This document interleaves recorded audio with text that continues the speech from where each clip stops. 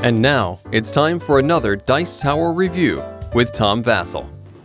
When I was asked to take a look at Space Yoghurt, half the fun I think is in the name itself. Hey, it's a game about space yogurt. It's just a good name. It is. And then I saw the pieces, cool little plastic miniature pieces. Well, that's intriguing. I read the rules. Oh, this is a game for kids. I have the Ultimate Kid Playtesting Group. Let's see what we thought.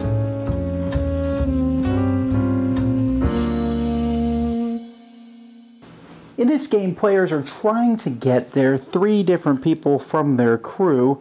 You start in your home here and you're trying to get them into the cockpit over here. Each of them has a distinctive feature. This guy has a star on his chest, looking like he came from a Dr. Seuss book. This guy has a giant eyeball stalk, and this little gentleman is carrying a wrench. And that's important to remember those because each of those matches one of these dice here. On your turn, you'll roll these three dice and then pick one of those people to move. So let's say I pick the first one, I would move my star guy one space. Pretty simple. Or I can move my eye stalk guy one space or I can move my wrench guy to a portal. There's four portals here, and he can go to one of these portals, and next turn he'll come out from that portal. So obviously I'm going to start over there.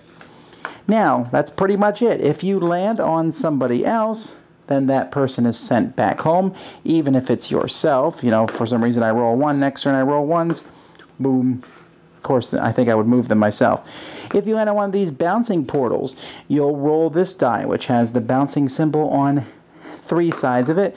I roll, bounce again, and I keep doing that till I no longer bounce. But you could bounce all the way into your home area.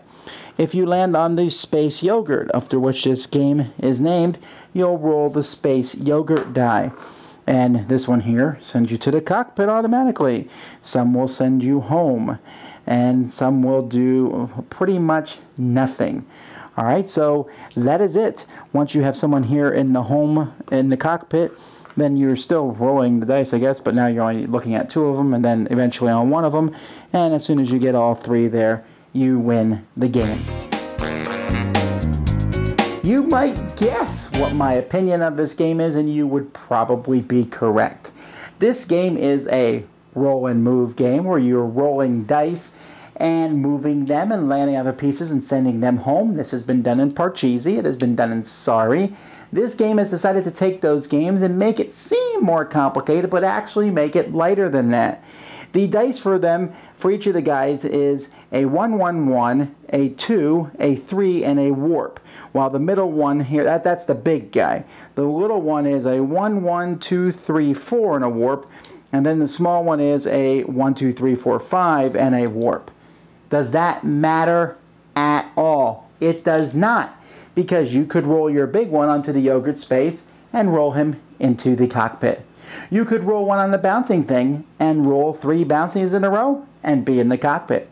You could be almost at the cockpit, someone lands on you and sends you back home. However, lest that make you weep, this game will be over in 10 minutes. It's really fast because you only have to get three people in. You roll three dice and you pick the roll that's best for you, or you pick one that lands on space yogurt and hope you get lucky on your roll.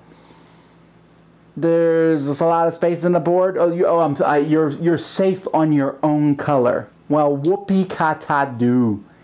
That means almost nothing in this game. This game is okay, I guess, if no other games had existed for 20 years.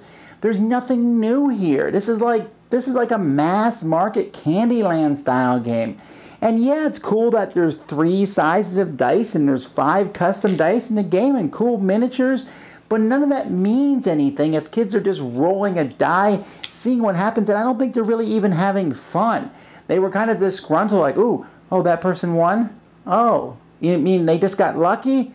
Well, I had to go back home three times. Yeah, well, them's the breaks, kids. Let's do it again. Now, Dad, let's find something more fun. You're right.